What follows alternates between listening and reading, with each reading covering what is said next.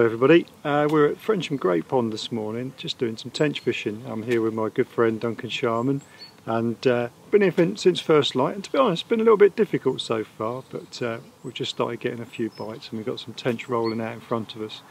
Now we've covered tench fishing on the maggot feeder before now, on the helicopter feeders which is a great tactic, one I use a lot, uh, particularly on the harder low stocked gravel pits but on a lake like this with a good stock of tench there's other tactics you can use.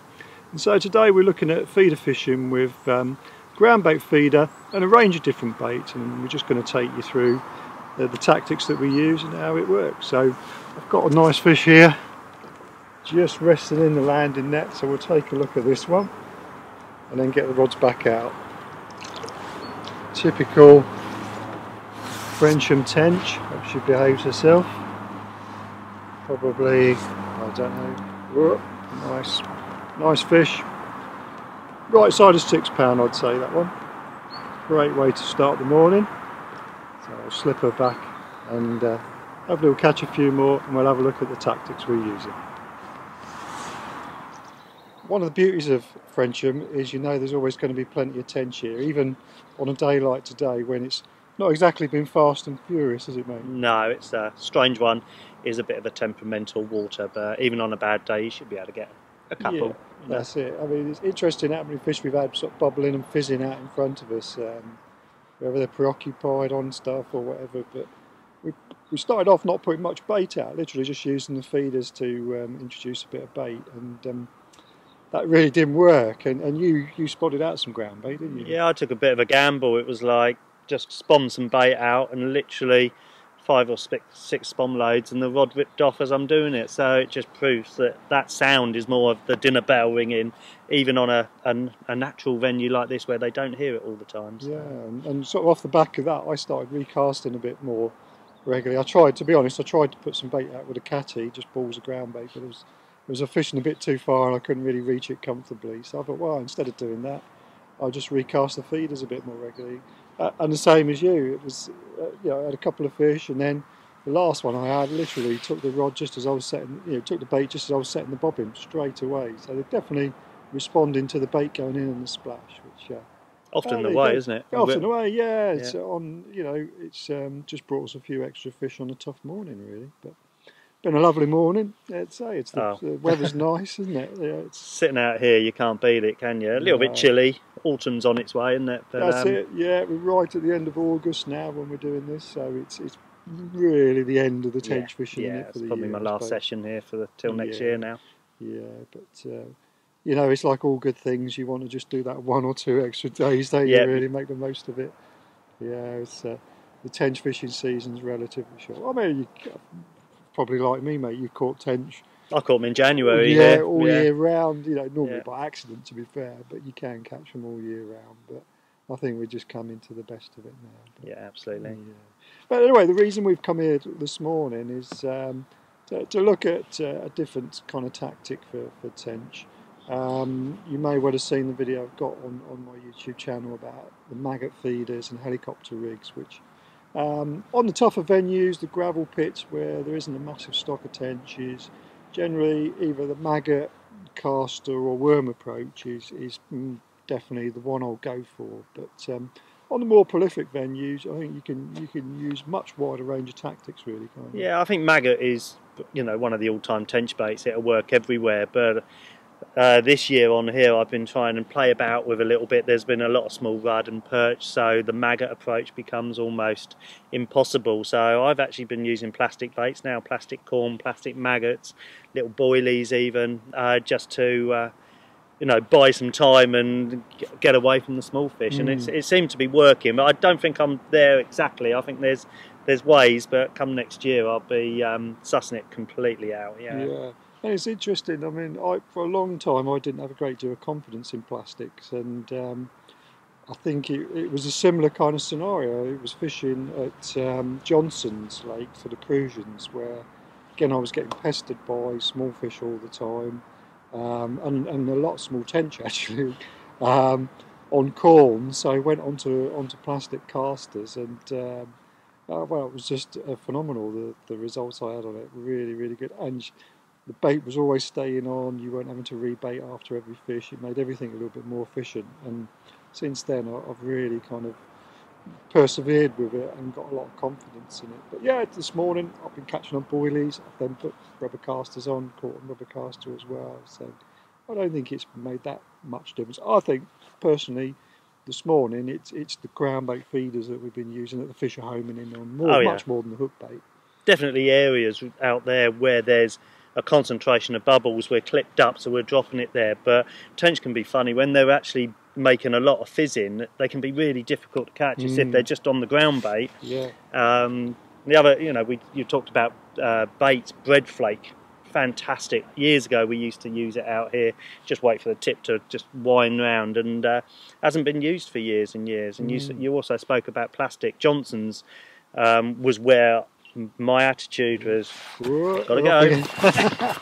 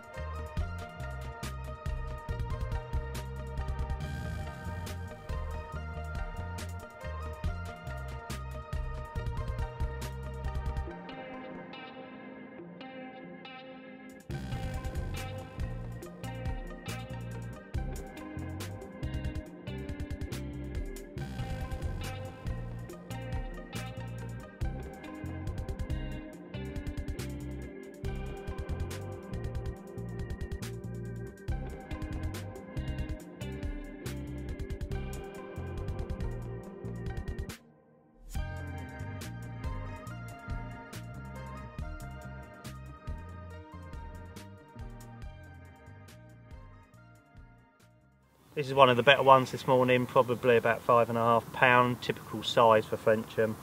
And uh, I'm fishing slightly different to what Paul is. And in a few minutes, what we'll do is we'll just run through the rigs to uh, to show you exactly how to go ahead and catch a few of these.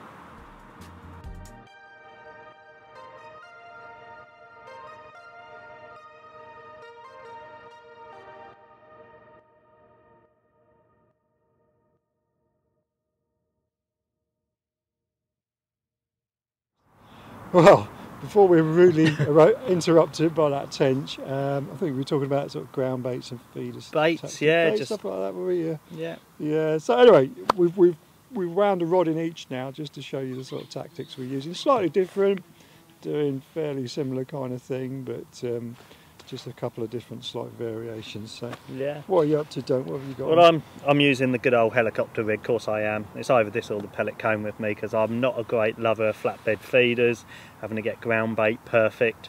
With this, I'm just using a 30 gram cage feeder.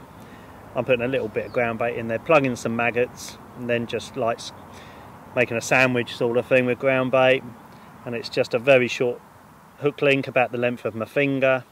As you can see, I've got a little bit of yellow corn on there. I've caught a couple on that today. We've had a couple Yeah, on just on the plastic plastic. yeah. plastic corn, um, plastic maggot. I've even had one on a plastic caster with three maggots on the hook, so you can play around with that. And really, the way to work this is just to keep casting it. Don't just put it out there and go to sleep. Every sort of 20 minutes on a venue like this, get out and recast. And it's amazing that goes down, hits the bottom, and quite often you'll have a tench as you're sinking your line. So that's my preferred method here. Yeah. And what sort of uh, breaking strain main line you got on there? Main line on here because we're casting, you know, a good distance, probably sometimes 60 yards. I've got an eight pound main line. Mhm. two float stops, and the, the, the hook link is five nine four, just under six pound uh, Yeah. hook link, so slightly less. So obviously Yeah. that will go if you're snagged up or what Yeah. have you. And a little size sixteen micro barbed super specialist. That's it. That's Don't it. need to go any bigger. Yeah. That goes in. It's not coming out. Yeah, um, mine is really fairly similar, to be honest. Um, get mine out here. So I've been catching on mini boilie and um, and the um, rubber casters this morning. I've opted for uh, a flat method feeder. Um, I like fishing with flat method feeders. Um, to be honest, I started off this morning. I had my rod set up um, from last night um, before coming down, so we could get cast out really without having to mess around in the sort of twilight this morning and uh, in the dark because my eyes aren't as good as they used to be. Um, and I was not using the, the method feeders as I normally would rig them really, um, with a short sort of four inch hook length in front of the feeder. Um, and after a couple of casts, I felt we're not fishing in very deep water out here. It's probably four and a half, five foot, something like yeah. that. Yeah. A um, little bit of silt on the bottom, not a great deal, but I, I just had a feeling that perhaps the feeder was digging in a little bit and maybe drag it, dragging the hook bait uh, into the silt on the bottom. So I swapped round, went on to a method feeder, but heli style. Again, a little short hook length. Um, I don't worry too much, sort of four or five inches is about right. That's about as long as I go. Um, on this one, I've got a size 16 hook. Um, it's a four and a half pound hook length, uh, seven pound main line, and I put a little bayonet, a little um, steel uh, uh, bayonet on this one, just so I can easily air rig a boilie just by pushing it in. The other rod's got um, actually three quarters of a, a rubber caster on it because that's just enough to give a really slow sinking bait. Um, and what I like is when I've watched and uh, we'll put a bit of underwater stuff on and you can see how they come in and they suck and blow at the, the bait on the bottom and, and the silt on them. I really like to have a bait that sinks very very slowly because I think it's, it's just got that much more chance to be sucked in with the ground bait and, and the rest of the bait and go in. Um, and fish don't even, they're not picking up individual baits, they're just sucking and blowing in mouthfuls of, of stuff off the bottom. And that critically balanced or slow sinking bait's just got more chance of going in. Um, so that's it, and that's what's wing catching for me this morning. Really, I've, I've- I've used it here before and it works pretty well. nothing, nothing too complicated. Doesn't tangle very much. Nice, easy fishing, really. Another, just another point of a slow, a slow sinking bait is out here. We got a lot of silkweed, so obviously the bait, the feeder hits the bottom, and the bait just comes down and just rests on top. The last thing you want is, you know, your hook bait.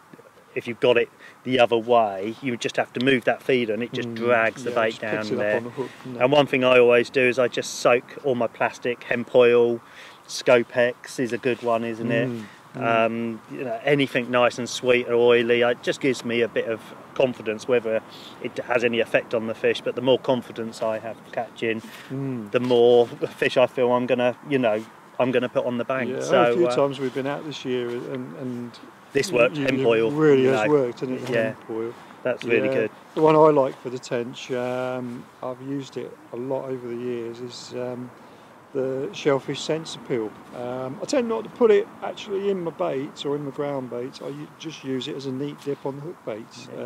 Just to give the hook bait that little bit more attraction, really. I put a little of this in my ground bait, but instead of just dripping it in where you're going to get areas of lots of oil, put it in the water, give it a good kind of mix up, get all those that fluid kind of dissolved within the water as much as you can. Not as easy with oil because obviously it floats, but just try and get it nicely Mm, mixed up and then put it in your ground bait so you get a nice even kind of mix throughout. Mm. Yeah. So, talking of ground baits, what, what kind of mix are you using in your feed? Quite quite um, a soft, Very fine, dry. just a very fine. I like red. I used to like green, but I've gone from the green to the red after seeing how bright that green was. Yeah. I think some companies have toned that colour down Yeah. because everything stands out a lot more. So this is just a very krill-based fine ground bait. Yeah. You've Um, got quite a lot of pellet in, small pellet in there. I've got no you? pellet at all. I Oh, never. I thought I no, could see some pellet in it. Oh no, No. it's just my eyes. no, it's just uh, just It's ground a bait. coarse mix. and a few maggots that obviously have got there when I've actually plugged the the ground bait. And you know, I never ever put any bait in my actual ground bait, Right. even when I'm catapulting it out. I want the tension to come in and kind of like think, oh, I can smell something, but there's no feed here, Mm. and there's my maggot, corn, boilie, whatever it is, there, and they're just home in on it. So, yeah, yeah. As you're saying, uh, Dunk's on the red, I've gone for the green. They both worked equally well this morning. Uh, you don't know if you can pick that out, it's actually quite a lumpy mix. Of it's a mixture of um, uh, the dynamites, uh, green swim stim, and some of their green crush pellet, which which makes it bind a little bit better. Um, fishing about 50 yards, I suppose, here, so I want a ground bait that binds fairly well onto the feeder. So using the crush pellet about 50-50 with the with the normal ground bait just makes it bind a bit and I've just put some crushed krill in there as well I do like like the krill powder do? it does work yeah. um, it's worked well for me over the years and gives me a bit of confidence but yeah red and green we're both Red and green. today it's all It could be today. pink or yellow. I mean, Yeah. I really think it's it's down to what you feel comfortable with. Yeah. As long as it's a good quality ground bait and the the feed, whether you're putting some pellets in there, are good, or you cleaned your maggots off. You don't want ammonia smelling maggots. Just you know, pay attention to quality quality feed that you're putting in. I'd rather put less but good quality in than loads of poor quality. Mm. So Oh, if you're going to buy some boilies, buy the best. If you're going to get your maggots, get them from a uh, you know a shop that knows how to actually keep yeah, them clean. and keep them clean and if Yeah. you're going to store them in the fridge or whatever for a few days get some maize meal and Yeah. clean them off and Absolutely, yeah, yeah. whatever you know, whatever bait you use. It's I've seen so many people, t- you know, turn up at lakes with you know huge amounts sometimes of poor quality bait and wonder why they're not catching. Um, I mean, we're sponsored, but to be honest, we don't use a huge amount of bait, do we? No, really? no, I'm not ground tell bait. you that we do. We're not we're not sponsored on ground bait, so we have to buy our ground bait. So it's as um, possible. Yeah, and the maggots, I don't get my maggots No, free, so no. um, just use them sensibly. If you're going to put them out, spawn them out, spot them out, uh, plug it so you don't lose your maggot really, because that's a cost factor. And just clip up and just you just get everything nice and tight really, Yeah. instead of putting it everywhere and just yeah. So uh, That's it. I you don't have I'd to. say there's a lot more days like today, really, where you're fishing for a few bites um, rather than trying to bag up. And you Mm. know, I think if you if you fish for for bites um, rather than you know laying out a huge amount of bait and trying to bag up, then on average over the course of a season, I think you'll have more good sessions. Yeah. Maybe not take advantage of that real red letter day, maybe quite so much. Uh, you know, that's debatable, but yeah, I think um, go easy and, and fish for. I think you know, top it up as the bites come. Really, I think you're- and often. by putting little and often, your, your your results will be a lot more consistent.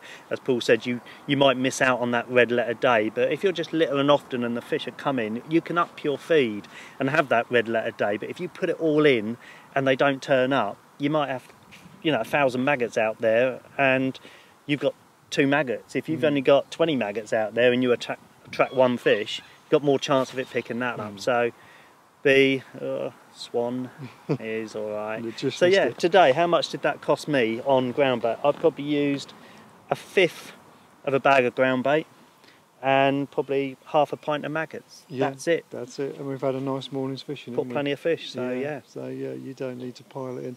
Right, I think we'll have to pack up because I'm just about to get done by swans. No, you're all right. yeah, You're all But right. uh, So, yeah, that's basically what we're doing. Nothing complicated. Um, it's just about having confidence in what you're doing and being and being proactive. and being Keep proactive. working at it. Yeah. Don't you know the fish?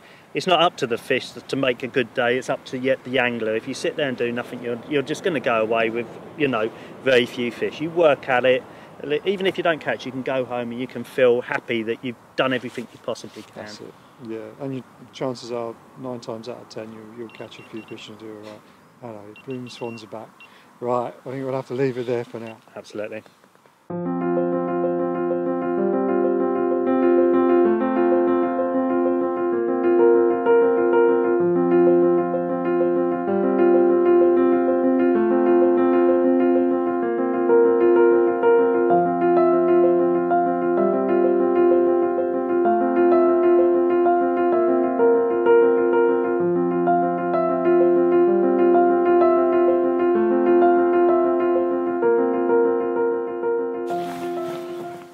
I think this is going to be our last fish of the morning. Absolutely pristine Frensham tench. Um, I actually my my rig got mangled on the last fish. So I was going for my box and actually put on a uh, another short rig, helicopter style, but with a rubber caster instead of uh, one of the mini boilies on. And literally, just as I cast it out um, and set the bobbin, it was away. Soon as that, it just goes to show sometimes the tench will really uh, home in on the on that little pile of ground bait. Beautiful fish, probably about five pound. Not the biggest we've had this morning, but a nice one to finish off. It's just coming up to breakfast time now, so we're going to pack up and head for home. And uh, I hope you've enjoyed watching. Um, we've really enjoyed making it, and hopefully you've learned something and got some tips and ideas there to take away for your own fishing. So thanks very much for watching, and we'll see you again soon. Ta-da for now.